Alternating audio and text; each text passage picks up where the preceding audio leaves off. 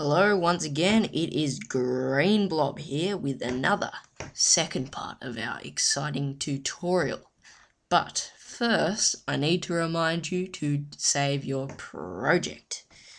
Obviously, if you lose it now, you will be very unhappy. So just file, save, it will save you a lot of hassle. As you can see, I've already saved mine, but this asterisk means that I have to save it again, my changes. So Control S and disappear. Alright, in this tutorial, we are going to be animating our spaceship. We already have a spaceship, and it's looking very nice. Now, in order to do that, we need to open our Transform 3D panel. We do that by expanding this button using the plugin setup button. What we can do then is we can actually manipulate our spaceship like we did in the previous tutorial, but first we need to make sure that our keyframes are set. To do that, go into the Transform 3D properties and click on each of these keyframing switches. I'm pretty sure that they spelt keyframing wrong and then set them to line ear. You can set them to smooth, but this could pose problems. So for this, I'm going to set them to linear. Keep on going down until you finish the angle X, Y, Z. After that, don't worry about the pivot commands. Then what you can do is you can add, go forward in time, possibly to one second, and move the spaceship and scale it down. In fact, what this is doing is it is actually animating our spaceship as it moves in 3D space. So our spaceship appears to be moving. Now what we can do is we can modify our spaceship to be in a different position once it takes off just to give that more of a give. Now, I'm going to make my spaceship rotate because that's pretty cool, but you can do whatever you like. Alright, so, continued. I'm going to go forward another second and I'm going to move my spaceship, remembering that Wax automatically sets keyframes. So I don't have to set them manually, I can just go about my work. So move the spaceship, rotate, and move appropriately. So our spaceship has gone from this position all the way to this position. Now what we want to have our spaceship do for us is leave the screen. So we'll go forward another second and move it rather epically out of view. So therefore, trickily rotate your spaceship to an angle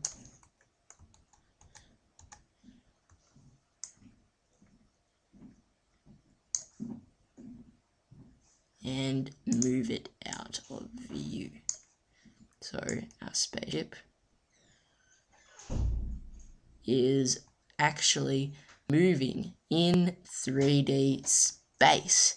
Now what you've done here is pretty important. You've actually learnt how to use wax to composite an actual animation in 3D. Now, always make sure that you rotate the spaceship before you set the keyframe because that can be very difficult for you if you don't. I'm just doing a little bit of fixing up here.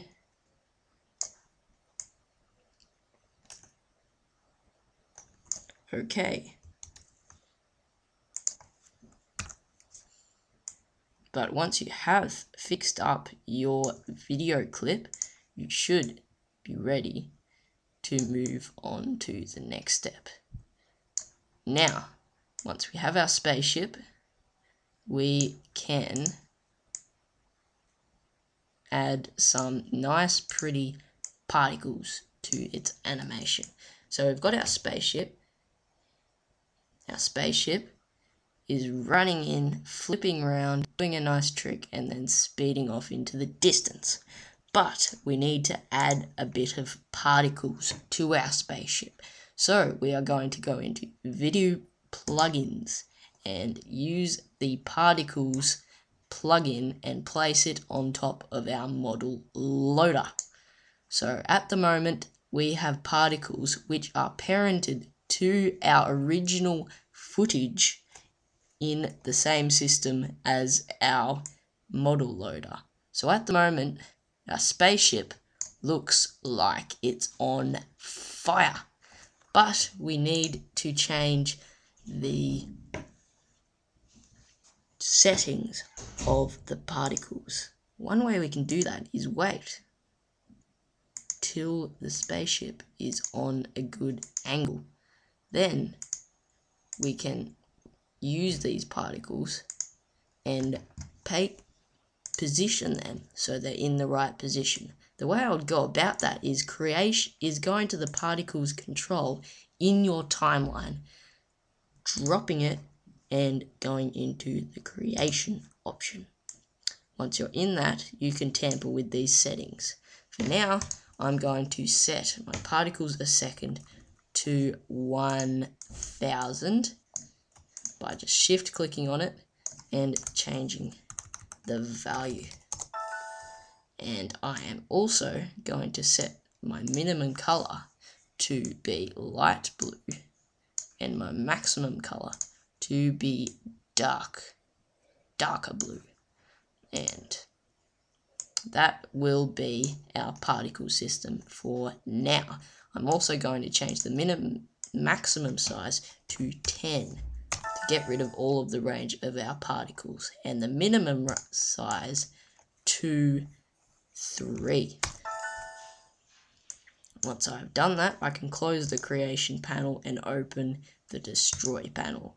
In here, I'm not going to tamper with much unless you want your particles to live for shorter, you would just tamper these color values.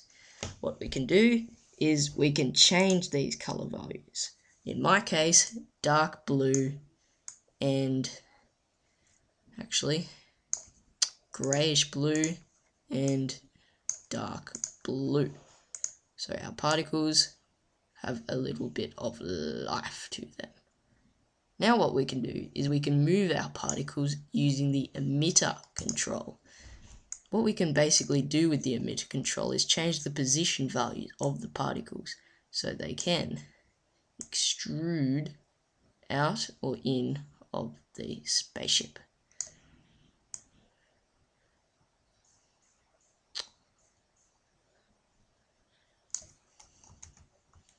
Once we have done that, a lot of control Zing, our spaceship will be ready.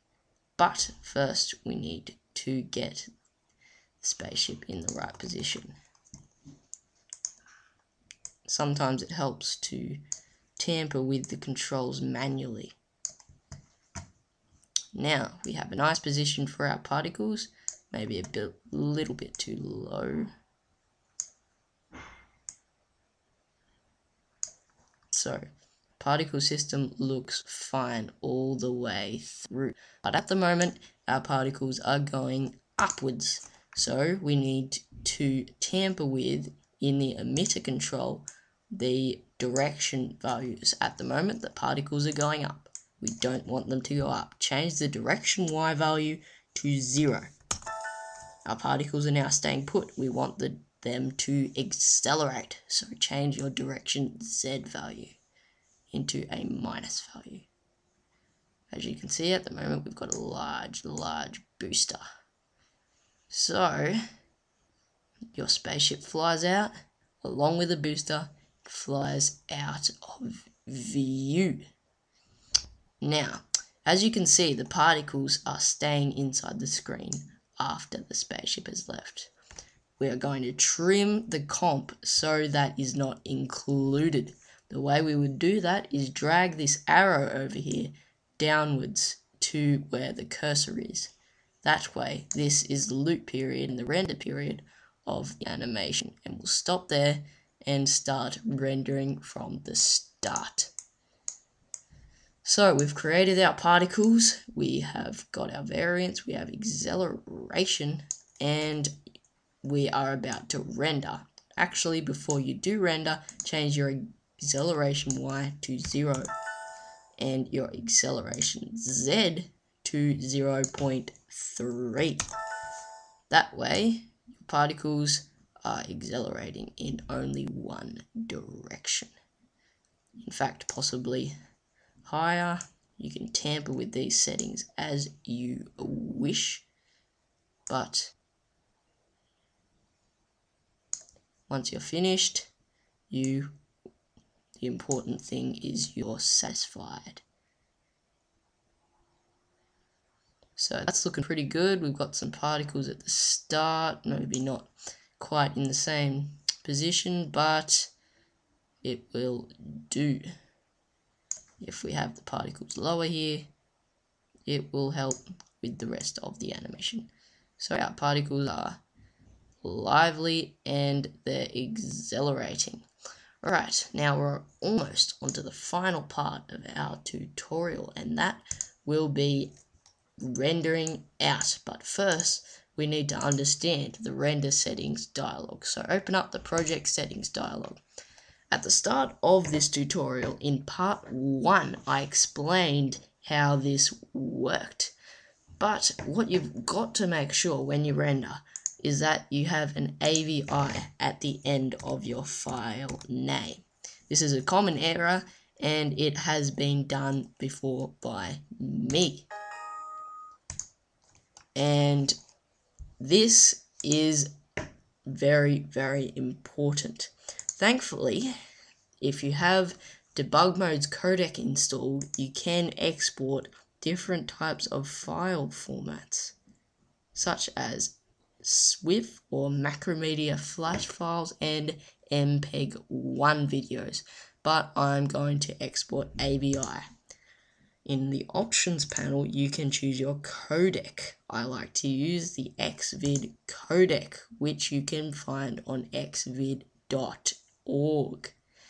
And I will choose the OK button, unconfigurable OK. So I am changing my settings. I am ready to render my video. That is no problem. I've already choose, chosen my output location. I will save my project and I will click the render button.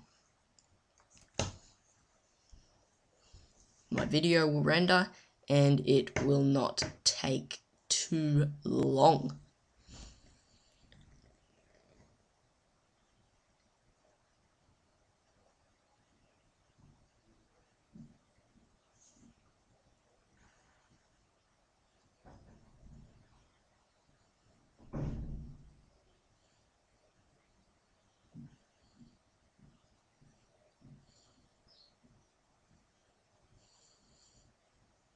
Once your rendering has finished, you're ready to preview your file under the saved location. In my case, I have saved it in this location. And there you have your final output tutorial. Hang around on my channel for, for, for more tutorials and don't be too harsh on me. This is my first tutorial, obviously and thank you for watching.